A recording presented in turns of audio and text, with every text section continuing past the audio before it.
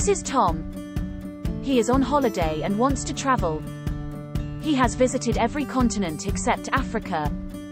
He goes to meet his friend Oliver who has a tourist agency.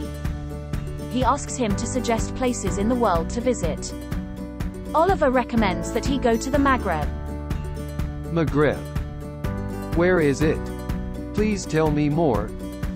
Where is the Maghreb?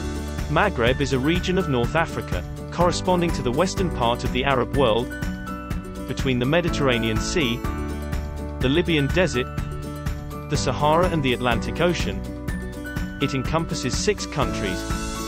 Morocco whose capital is Rabat covers an area of 446,550 square kilometers, and a population of 36.03 million inhabitants in 2018.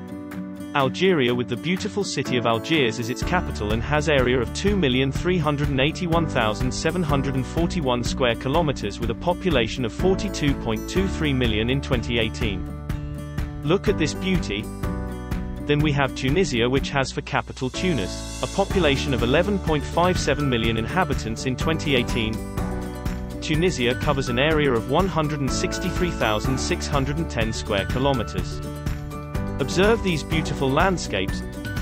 There is Libya which also has a lot of wonder. Its capital is Tripoli. Its area is 1.76 million square kilometers. In 2018 it had a population of 6.679 million inhabitants. Mauritania is also part of the Maghreb. Its capital is Nouakchott. It covers an area of 1,030,700 square kilometers and a population of 4.403 million inhabitants in 2018.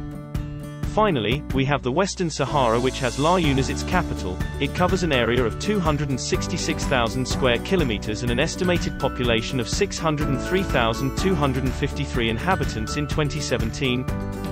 Look at this beauty. So tell me what you think. In which Maghreb country would you like to go? Wow. It's so beautiful.